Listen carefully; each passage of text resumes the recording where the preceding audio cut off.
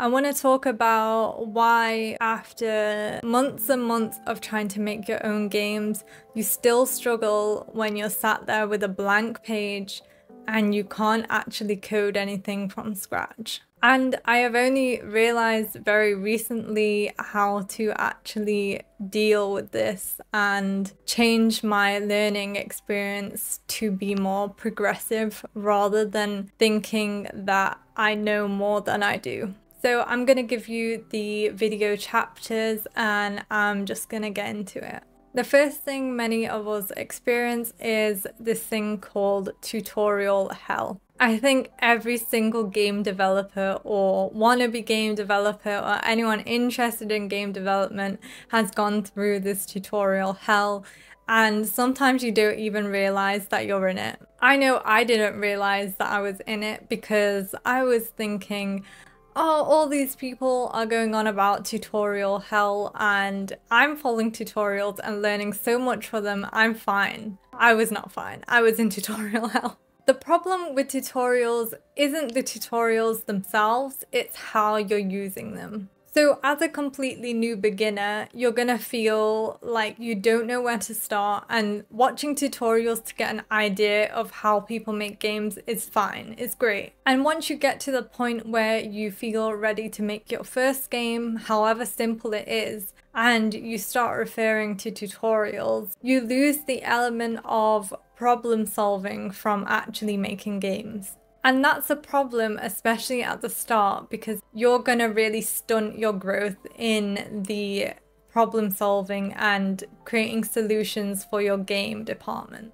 Let's take maths for example. If you are completely new to maths, you don't even know the basics of addition, subtraction, why would you watch a tutorial on how to do algebra? It doesn't really make sense. And following tutorials also gives this illusion that you know more than you think you do. And so, yeah, you might follow a tutorial from start to finish and feel like, yeah, I've understood everything that this person has put into this game. But could you actually recreate that game by yourself? Probably not. So, how do you break out of tutorial hell? What I recommend is thinking of the most simple, simple game to make. For example, I just did a video on collecting eggs in an egg hunt. And from there, you can think of the literal steps you need in your game. For example, you want your player to move forward. What do they need to press on the keyboard? They need to press W. How are you going to get that player input? Into your code, into the game. And you break down the problems in your game into tiny, tiny bite sized pieces and do it step by step and try and actually think about it. Use your brain. you lose the critical thinking when you're watching tutorials because it's all being done for you. So if you want to backtrack and actually try and progress, you need to use your brain to solve problems. How am I going to get the player input? How is this person going to move along the x-axis? How are they going to move up? How are they going to move down? How are they going to jump? You need to start thinking about these things however basic they are. This is the reason why many game developers say start small, go smaller, go smaller. And I know it's hard to understand because they don't really explain why you should go so small. And it is because you need to think about these small little tasks and from there you can build bigger and bigger problems and solve them yourself. I've definitely personally struggled with this because I was following tutorials for months and months because I didn't know how to go about learning how to actually make games.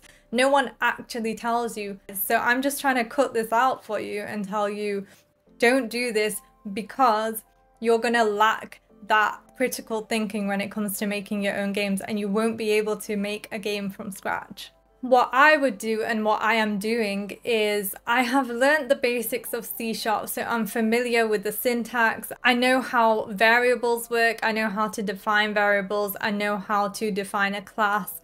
I know the basics, but you need to then implement them into your game, which is the next step. I'm going to give you an example of movement. So you know that you want the input of W from your player and once they press it, they're to move in the Y direction. but you're thinking, I don't know how to do this, I need to watch a tutorial. Try and not watch a tutorial, try and Google it instead. You might think this is the same as watching a tutorial, but it isn't because when you Google something, you have to actually read and try and implement that information into your game without the code being written for you. And use the Unity official docs. And also, it's good to go to Google with specific narrow down problems.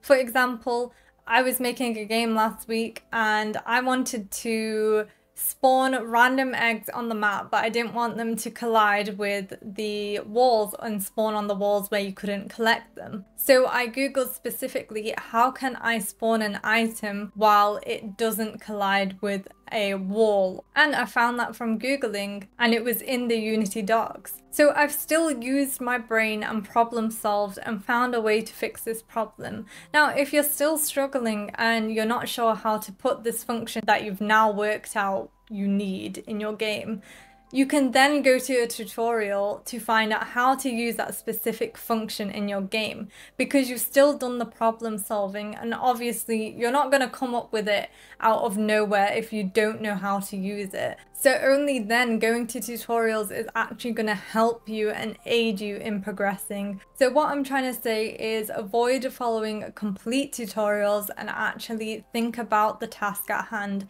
and narrow it down to specifics and then go and use the internet and Google it and then you can YouTube it, it's fine. And then for the next time you make a game, you're going to remember, I know that function, I know how to use that in my game, I can do it again because you worked it out already. And you know, practice makes perfect, of course. But that's pretty much what I wanted to say, and I hope you could take something from this and it was useful. Making games isn't easy and it never will be easy, but you will get better at it. Let me know in the comments if you have any more to add or tell me something that really resonated with you. But other than that, I'll see you next time.